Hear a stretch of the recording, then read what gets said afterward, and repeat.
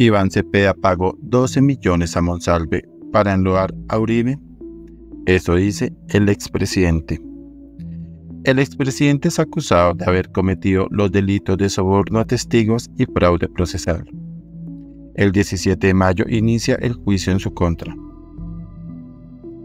Se va a cumplir una semana desde que la Fiscalía General llamó a juicio al expresidente Álvaro Uribe Vélez por los delitos de soborno a testigos y fraude procesal.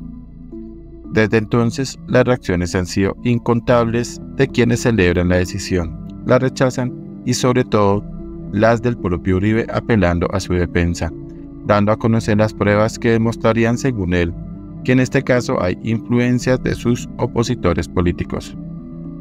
En las últimas horas, a través de su cuenta de X, el ex senador publicó un video en el que asegura que el senador Iván Cepeda entregó dinero a una ONG de defensa de los presos políticos y que ésta a su vez entregó al condenado Juan Guillermo Monsalve 12 millones de pesos.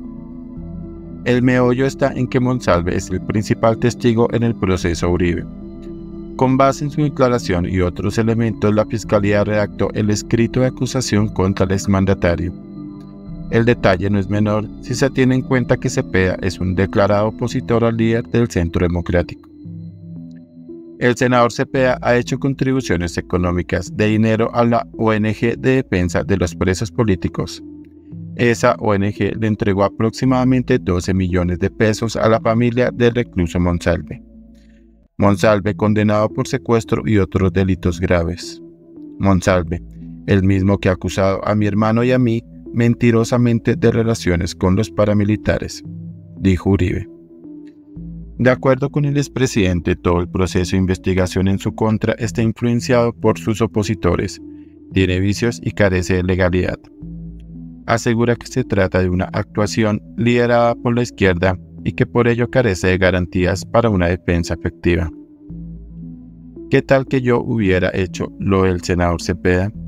¿Qué tal que yo hiciera esa gestoría de recursos? agregó.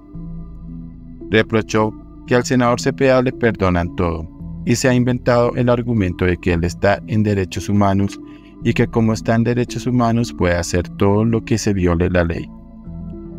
El juicio Uribe, primer expresidente de Colombia acusado formalmente por presunta comisión de delitos, iniciará el próximo 17 de mayo ante la juez 44 penal del circuito con función de Conocimiento de Bogotá, Sandra Liliana Heredia Aranda, según confirmó el abogado Miguel Ángel de Río a través de su cuenta de X.